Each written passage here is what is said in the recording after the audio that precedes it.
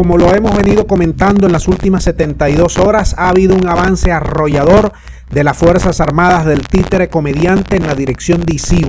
Allí los combates, los, eh, las peleas son durísimas, difíciles. Hay versiones de un lado y de otro lado. Lo que ya sí es, que parece inobjetable, es el avance de casi 50 kilómetros en menos de 72 horas de la contraofensiva lanzada por el títere comediante. En estas imágenes que ustedes están viendo se refleja en este mapa interactivo cómo se ha dado el avance. La pregunta es, ¿agarraron dormido a los de la federación?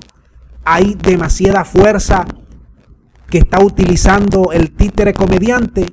¿Se tratará de una emboscada?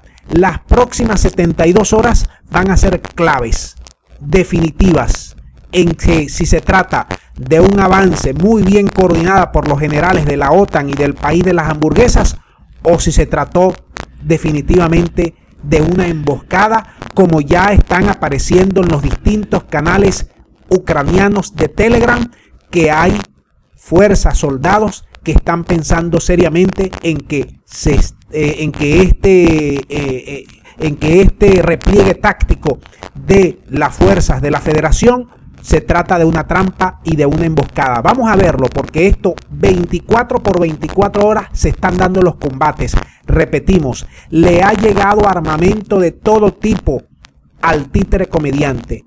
Lo han abastecido con armas de precisión, armas cortas, largas, de mediano alcance, de las mejores armas de la OTAN, de Occidente y del país de las hamburguesas, han vaciado prácticamente todo su arsenal para lanzar esta contraofensiva. Por ello hemos visto las visitas introspectivas de Blinken visitando Kiev y hemos visto también cómo el abuelo ha llamado a los aliados para que sigan mandando armas, para que sigan mandando dinero.